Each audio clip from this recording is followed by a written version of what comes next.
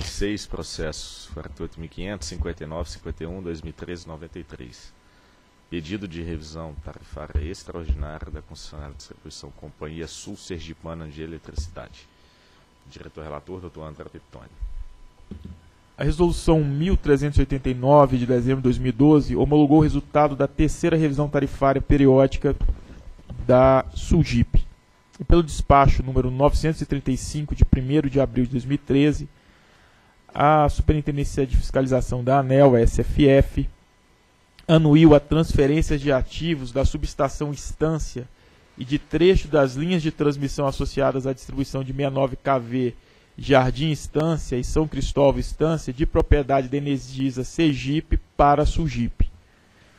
Então vejam, após o, a aprovação do processo tarifário do terceiro ciclo, houve uma transferência de ativos, uma incorporação de ativos pela Sugip. Assim, em 11 de abril de 2013, a Sugip solicitou a revisão tarifária extraordinária para reconhecimento dos ativos mencionados em sua base de remuneração, tendo em vista que aconteceu pouco meses do, após o processo tarifário. Em 8 de agosto, foi realizada a reunião entre a Sugip, Energisa Sergipe, Chesf e ONS, objetivando definir as etapas de ampliação e reforços na subestação Itabaianinha e a efetiva transferência de cargas da Energisa Sergipe para a Sugip. Em 31 de outubro de 2013, a Superintendência de Fiscalização Econômica e Financeira encaminhou o memorando 1468 informando os valores finais dos ativos para dos ativos da que foram transferidos da, da Sugip. Assim, em 31 de outubro de 2013, a SRE emitiu a nota técnica 480 para subsidiar o julgamento do pedido de revisão tarifária extraordinária interposto pela concessionária ao relatório. Procuradoria. Trata-se aqui de pedido de revisão tarifária extraordinária. A Procuradoria não emitiu parecer nesse caso, mas a, a delimitação no pedido de revisão tarifária extraordinária passa necessariamente por uma análise da, da causa apontada pelo agente e, e esse evento que vai provocar uma possível revisão tarifária extraordinária, ele tem que ser um evento externo, ou seja, não causado pelo agente e nem sujeito de alguma maneira à sua gerência e, e tem que provocar um, um desequilíbrio econômico-financeiro e um impacto significativo. Essa é a delimitação da doutrina do direito administrativo também da cláusula sétima dos contratos de, de permissão, onde tem uma cláusula de revisão tarifária extraordinária, essencialmente com, com esses contornos.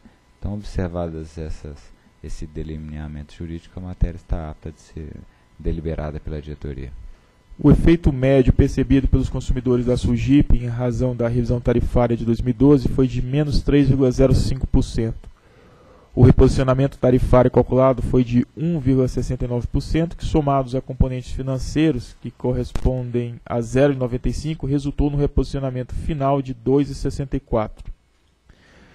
O pedido de revisão tarifária extraordinária da SUGIP baseia-se na alteração de seus custos de parcela B, após a inclusão dos ativos transferidos da Energisa Sergipe, em razão dos seguintes impactos alega a concessionária, na base de remuneração, pelo acréscimo da remuneração adequada e da cota de reintegração regulatória, nos custos operacionais, pelo incremento de 46,14 km de rede aos ativos da, da concessionária, e também pontua no cálculo fator X pela alteração do componente T diante da aquisição desses ativos. A nota técnica da SRE, de número 480, assinalou que o impacto resultante na inclusão dos ativos na base de remuneração alteraria o índice de reposicionamento tarifário em 0,97%, conforme está discretizado na tabela 1.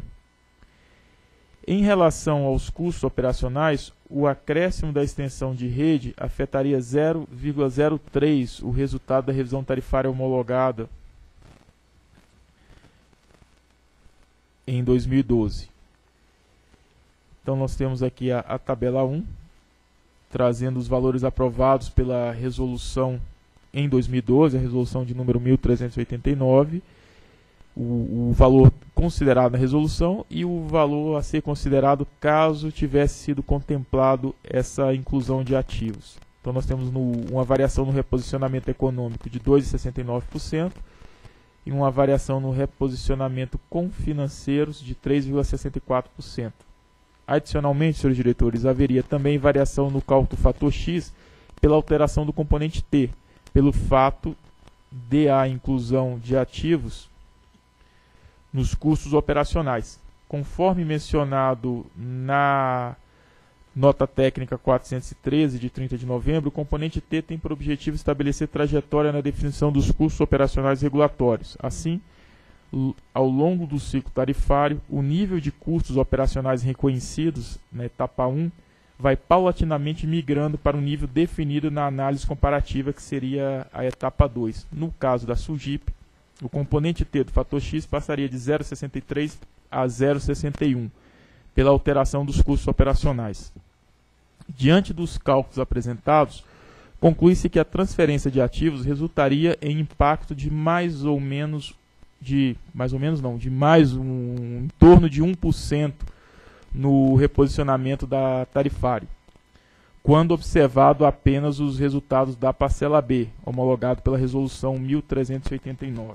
Conforme o procurador colocou, um dos motivos para justificar a revisão, a revisão tarifária extraordinária seria, conforme diz a, a doutrina da a delimitação da doutrina do direito administrativo o impacto significativo na tarifa. E o que a gente não está se verificando nesse caso. Destaca-se também que toda a motivação para a transferência do ativo foi fundamentada no atendimento da SUGIP pela rede básica e na significativa redução de custos da parcela A, pela queda dos montantes contratados no sistema Energisa Sergipe. Ela deixa de pagar a conexão na, na concessionária na D e passa a acessar a rede básica. E acréscimo dos montantes contratados na rede básica, que seria o, o migra do MUSD para o MURG, ocasionando redução tarifária que seria percebida pelos consumidores finais da concessionária. Foi nesse sentido, inclusive, que houve a anuência, a transferência, conforme consta do despacho 935 de 2013, que ressaltou entre, os, entre outros pontos que as concessionárias em referência deverão ajustar o CUSD e o CCD para fazer as adequações aos encargos de uso de contrato decorrente desse novo contrato. E pontua também que a presente anuência não implica o reconhecimento dos valores dos ativos para fins de composição da base de remuneração regulatória das distribuidoras, os quais estarão sujeitos à validação e ajuste mediante fiscalização posterior da ANEL. Ressalta-se ainda, senhores diretores, que a eventual revisão extraordinária, conforme pleiteada pela SUGIP, também deveria contemplar a redução dos custos com o uso da rede, ou seja, do, o valor do MURG, que é mais alto que o do MUST. Ou seja, incorporar simultaneamente tanto os impactos positivos da parcela B, quanto aqueles da parcela A negativos. Então, a parcela B são os argumentos trazidos pela concessionária pelo fato da aquisição de ativo e aumento em 43 quilômetros, mais ou menos, de operação e manutenção. Entretanto, nós temos o custo do fio na parcela A, que por essa migração ele, ele tem um sinal oposto ao que acontece na parcela B, ou seja, ele cai. Isso porque a anuência concedida em abril de 2013 já permitiu que fossem editados os contratos vigentes de acesso aos sistemas de transmissão e distribuição de energia elétrica, conforme a gente leu a observação da área técnica. No entanto, Conforme se observa da ata de reunião realizada em 8 de agosto de 2013 entre as concessionárias de distribuição ONS e Chesf, as, a, as cargas da SUGIP,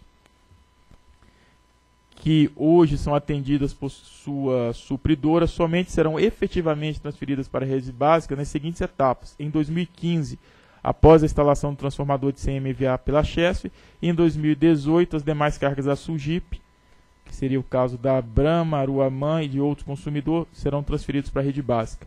Depende, portanto, que, até as datas mencionadas, a transferência do suprimento das cargas da SUGIP não será adequadamente concatenada à transferência dos ativos das distribuidoras.